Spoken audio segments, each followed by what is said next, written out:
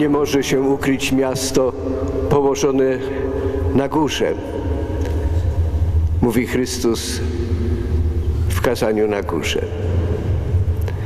I te słowa bezpośrednio i wprost odnoszą się do Magnoregio, miasta pamiętającego jeszcze czasy Etrusków we włoskim Lazio, niedaleko Viterbo, położone na górze, będącą jednym z cudów tamtej ziemi, po dzień dzisiejszy przyciągające rzesze turystów.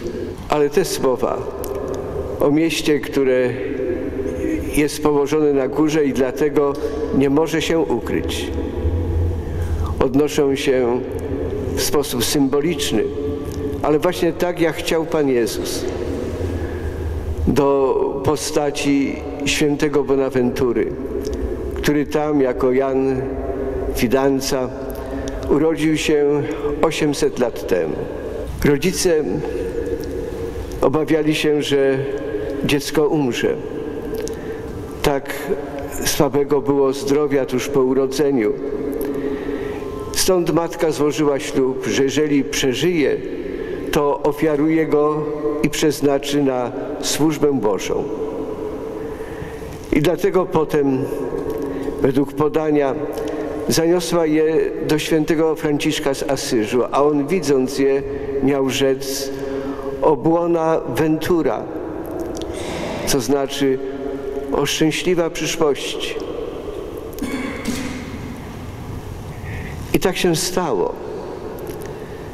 Kiedy ukończył szkołę na poziomie średnim według ówczesnego systemu szkolnictwa, udał się do Paryża, by tam studiować na słynnym na całą Europę uniwersytecie. I tam też postanowił wstąpić do Franciszkanów. Zaczęła się w sposób widoczny jego droga ku szczęśliwej przyszłości. Jest rzeczą znamienną, jakimi motywami kierował się wstępując do zakonu braci mniejszych. W jednym z listów do swego przyjaciela Bonaventura napisał Wyznaję przed Bogiem, że powodem, dla którego najbardziej umiłowałem życie błogosławionego Franciszka, jest fakt, że podobne jest ono do początków i rozkwitu Kościoła. Kościół zaczął się od prostych rybaków. Następnie wzbogacił się o wybitnych i bardzo mądrych uczonych. Religię błogosławionego Franciszka ustanowiła nieroztropność ludzi, lecz sam Chrystus. Do tego wyznania świętego Bonaventury jakże nie dołączyć komentarza papieża Benedykta XVI, który już dużo wcześniej, jeszcze jako profesor Józef Ratzinger, fascynował się tym jednym z najwybitniejszych uczonych, myślicieli, teologów i filozofów średniowiecza. Katechezie, którą wygłosił 3 marca 2010 roku, Benedykt XVI mówił Punkt zasadniczy. Franciszek to alter Chrystus. Jest mężem, który z pasją szukał Chrystusa. W miłości, która popycha do naśladowania, upodobnił się wewnętrznie do Niego. Bonaventura ukazywał ten żywy ideał wszystkim uczniom Franciszka. Ideał ten aktualny dla każdego chrześcijanina. Wczoraj, dziś i zawsze. Wskazany został jako program także dla Kościoła trzeciego tysiąclecia przez mego czcigodnego poprzednika Jana Pawła II. Program ten, pisał on w liście Nowo Milenio Ineunte, skupia się wokół samego Chrystusa, którego mamy poznawać, kochać i naśladować, aby żyć w Nim życiem trinitarnym i z Nim przemieniać historię, aż osiągnie swą pełnię w niebiańskim Jeruzalem. Mamy Chrystusa poznawać, kochać i naśladować. Te słowa wyrażają także całą postawę Bonaventury wobec tego, co byśmy dzisiejszym technicznym nieco językiem nazwali filozofią poznania. Odchodził od modnego wówczas nauczania Arystotelesa, przedłużanego genialną zresztą wykładnią świętego Tomasza z Akwinu, żyjącego i działającego dokładnie w tym samym czasie, co on. Bliższy był mu Platon, gdy chodzi o inspirację, a jeszcze bardziej święty Augustyn, gdy chodzi o myśliciela w pełni chrześcijańskiego. Poznawanie dla Bonaventury było poznawaniem przez miłość. Miłość, co prawda, domagała się poznania intelektualnego, ale je przewyższała tym, że domagała się naśladowania będącego treścią życia każdego dnia. Imponował Bonaventura swą erudycją. Był doskonałym wykładowcą, ale w centrum tego jego nauczania znajdował się Chrystus. Nie dziwmy się zatem, że rozprawą habilitacyjną, czyli taką, która mu pozwalała nauczać zawsze i wszędzie, licencja ubique docendi, że rozprawa ta nosiła tytuł zagadnienia poznania Chrystusa. A z tym nastawieniem prawdziwie kontemplatywnym i intelektualnym. Szła w parze. Nadzwyczajna zdolność, by organizować umiejętnie życie, zwłaszcza swoich braci w zakonie świętego Franciszka. Miał zaledwie 39 lat, jak został generałem zakonu i te lata jego przewodzenia zakonowi były dla niego, dla zakonu prawdziwie błogosławione. W tej jego postawie zarządcy mądrego i odpowiedzialnego, jednocześnie pełnego wizji wybiegających daleko naprzód, nie ograniczającego się tylko do bieżących zadań dyktowanych potrzebą dnia.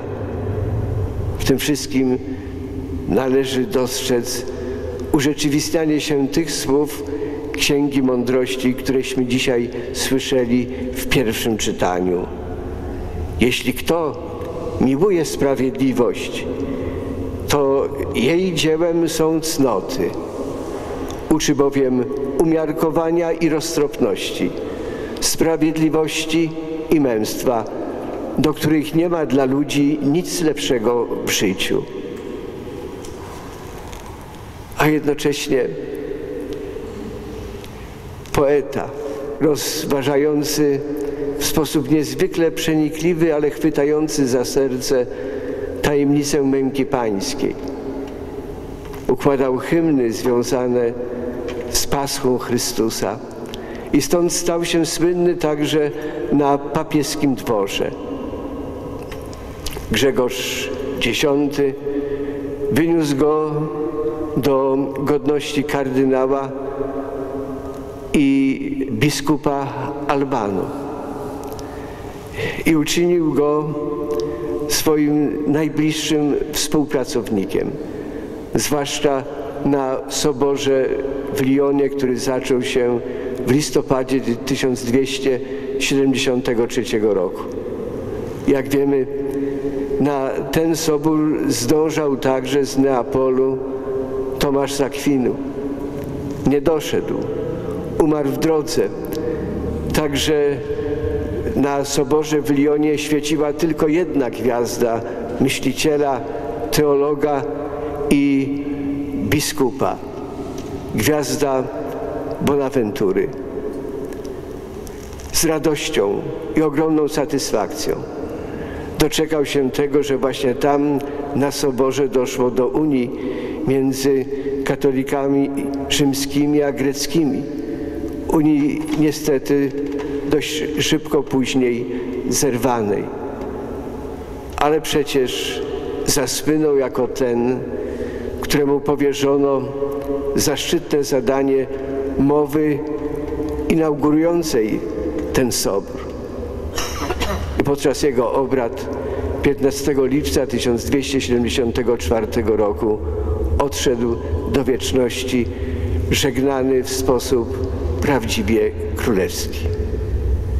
Zachowały się jego dzieła, które ciągle na nowo odkrywamy i których przesłanie staje się nam bardzo bliskie, zwłaszcza tym myślicielom, uczonym, którym bliska jest tradycja świętego Augustyna. Linium vitae, itinerarium mentis in deum, illuminationes ecclesiae. Jakże pięknie zarysował jego postać anonimowy pisarz z dworu papieskiego, przekazując taki oto portret świętego Bonaventury. Człowiek dobry, ujmujący, pobożny i miłosierny, pełen cnót, kochany przez Boga i ludzi. Bóg bowiem obdarzył go taką łaską, że wszyscy, którzy go widzieli, przepojeni byli miłością, której serce nie mogło ukrywać. Dzisiaj, kiedy świętujemy Jego pamięć z okazji 800. rocznicy Jego przyjścia na świat, rysuje się przed nami szczególny tryptyk. Pierwszą jego częścią są słowa z pierwszego dzisiaj czytania fragmentu Księgi Mądrości. Ją to mądrość pokochałem, jej od młodości szukałem. Pragnąłem ją sobie wziąć za oblubienicę i stałem się miłośnikiem jej piękna. Sławi ona swe szlachetne pochodzenie, gdyż obcuje z Bogiem i miłuje ją władca wszechrzeczy, bo jest wtajemniczona w wiedzę Boga i w Jego dziełach dokonuje wyboru. Jeśli w życiu bogactwo jest dobrem pożądanym, cóż cenniejszego niż mądrość, która wszystko sprawia? I druga część tryptyku. Przełożenie obcowania z Bożą mądrością w zachwyt nad dziełami stworzenia. Ta druga część tryptyku to fragmenty pieśni świętego Franciszka z Asyżu Laudato Si. Pochwalony bądź Panie z wszystkimi Twoimi stworzeniami, a przede wszystkim z naszym bratem Słońcem, które dzień daje, a Ty przez nie świecisz. Ono jest piękne i promieniste, a przez swój blask jest Twoim wyobrażeniem o najwyższy. Bądź, Panie, pochwalony przez naszego brata Księżyc i naszej siostry Gwiazdy, które stworzyłeś w niebie, jasne i cenne i piękne. Panie, bądź pochwalony przez naszego brata Wiatr, przez powietrze i obłoki, przez pogodę i wszelkie zmiany czasu, którymi karmisz swoje stworzenia. I trzecia część tryptyku, fragment itinerarium świętego Bonaventury, który jest jakby syntezą pierwszej i drugiej części owych niezwykle przejmujących fragmentów myśli Księgi Mądrości i świętego Franciszka z Asyżu. w itinerarium czytamy. Kto nie został olśniony jasnością stworzonych rzeczy, jest ślepy. Kto nie obudzi się pod wpływem ich głośnego wołania, jest głuchy. Kto nie wielbi Boga, patrząc na wspaniałość stworzenia, jest niemy. Kto opierając się na tych wszystkich świadectwach nie dostrzega pierwszej przyczyny, jest głupcem.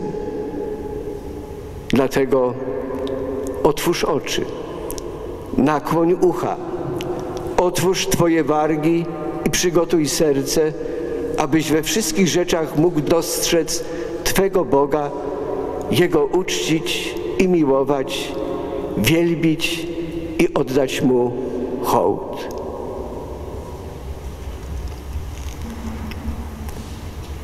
Nasza Eucharystia jest wstępem do dzisiejszej konferencji poświęconej myśli i dokonaniom świętego Bonaventury. Jest wstępem i otwarciem, by zanurzyć się w Bożej mądrości, wyśpiewanej przez świętego Franciszka, cudownie przekazanej nam językiem teologii i mistyki przez świętego Bonaventurę. Jakżeż w tym miejscu nie zacytować zachęty, jaką na zakończenie swej katechezy poświęconej temu jednemu z najwybitniejszych myślicieli świętego średniowiecza poświęcił Benedykt XVI, mówiąc podejmijmy dzieło tego świętego doktora Kościoła, który przypomina nam o sensie naszego życia w następujących słowach. Na ziemi możemy rozważać ogrom Boga przez rozum i podziw. W niebieskiej Ojczyźnie natomiast przez widzenie, gdy staniemy się podobni do Boga i przez ekstazę. Wejdźmy zatem do radości samego Boga.